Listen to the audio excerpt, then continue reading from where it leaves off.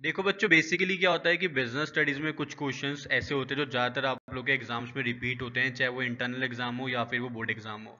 तो आज मैं आपको बताऊँगा nature and significance of management से most important questions my name is search Thapar I am a post graduate teacher and let start देखो बच्चों इंपॉर्टेंट क्वेश्चन बताने से पहले मैं आपको बताना चाहता हूँ कि सीबीएसई ई ने इस साल बोला है कि इस साल जो पेपर होगा, उसमें सीबीक्यू कॉम्पिटेंसी बेस्ड क्वेश्चन ज़्यादातर होंगे। तो कॉम्पिटेंसी बेस्ड क्वेश्चन को आपको ज़्यादा से ज़्यादा प्रैक्टिस करना है ताकि जो आपका स्कोर है वो मैक्सिमाइज हो जाए। उसके लिए यहाँ पे आप लोग के पास है, ये most likely CBSE question bank इसके अंदर आपको कॉम्पिटेंसी बेस्ड क्वेश्चन मिलेंगे कंप्लीट एक्सप्लेनेशन है सारे एमसीक्यूज की केस बेस्ड क्वेश्चन है अजर्शन रीजन क्वेश्चन है। प्रीवियस ईयर बोर्ड एग्ज़ाम का क्वेश्चन पेपर भी इसके अंदर आपको मिल जाएगा ऑसवल का बेसिकली रहने वाला है। मैं आपको दिखाता हूँ कि किस टाइप के क्वेश्चन इसमें रहने वाले हैं। देखो बच्चों, इस टाइप से क्वेश्चन रहेंगे क्वेश्चन के साथ आपको ऑप्शन मिलेंगे और आपको आंसर के साथ एक्सप्लेनेशन भी मिलेगी। हर एक क्वेश्चन में आपको आंसर मिलेगा एक्सप्लेनेशन मिलेगी बिज़नेस स्टडीज़ के लिए। सारे के सारे इसमें चैप्टर्स आप लोग के इंक्लूडेड हैं। सारे चैप्टर्स इंक्लूडेड हैं। सीबी इसके अंदर प्रेजेंट है आपके लिए एमसीक्यूज हैं। कॉम्पिटेंसी बेस्ड क्वेश्चन हैं मल्टीपल चॉइस क्वेश्चन हैं और हर तरह के क्वेश्चन हैं जो कि आप लोगों के बोर्ड एग्ज़ाम में आप लोगों से पूछे जा सकते हैं। लिंक मैं आपको नीचे डिस्क्रिप्शन में दूँगा, इसका आप लोग जाके इसको ले सकते हो। बिज़नेस स्टडीज़ का क्वेश्चन बैंक ये रहने वाला है। मोस्ट इंपॉर्टेंट क्वेश्चन इसके अंदर सारे के सारे इंक्लूडेड है। लिंक मैं नीचे आपको डिस्क्रिप्शन दे रहा हूँ, आप लोग जाके इसको ले सकते हो।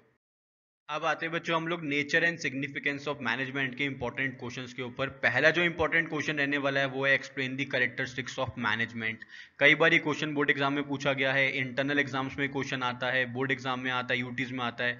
यूजली क्वेश्चन कई बार आप लोगों से पूछा जाता है कि बताओ करेक्टरिस्टिक्स कौन कौन से होते हैं मैनेजमेंट के। ठीक है? सेकंड इंपॉर्टेंट क्वेश्चन है differentiate between efficiency and effectiveness with examples आपको बताना है कि एफिशिएंसी क्या होती है और इफेक्टिवनेस क्या होती है, साथ में आपको इसके एग्जांपल्स भी बताने हैं। थर्ड इंपॉर्टेंट क्वेश्चन है explain the levels of management with their function तीनों लेवल ऑफ़ मैनेजमेंट को आपको बताना है, चाहे वो टॉप लेवल है, चाहे वो मिडिल लेवल है या वो लोअर लेवल है।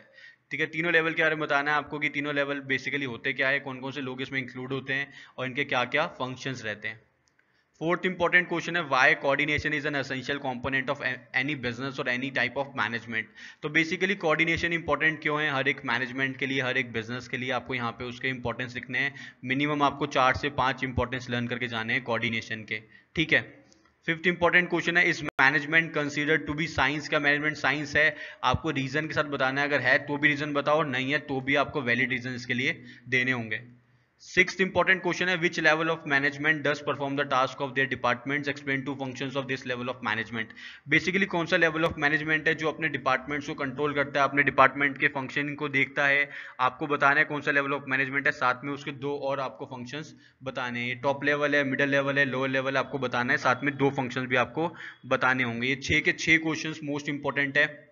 यूजुअली यही क्वेश्चंस आप लोग के बोर्ड एग्ज़ाम में इंटरनल एग्ज़ाम्स में पूछे जाते हैं। तो आप लोग इसका स्क्रीनशॉट ले सकते हो। साथ में आप लोग ऑसवल का क्वेश्चन बैंक ले सकते हो। लिंक नीचे डिस्क्रिप्शन में है। आप लोग जाके उसको ले लो। बहुत सही चीज़ है वो। कॉम्पिटेंसी बेस्ड क्वेश्चन एमसीक्यूज हर तरह के क्वेश्चन आप लोग के वहाँ से हो जाएँगे।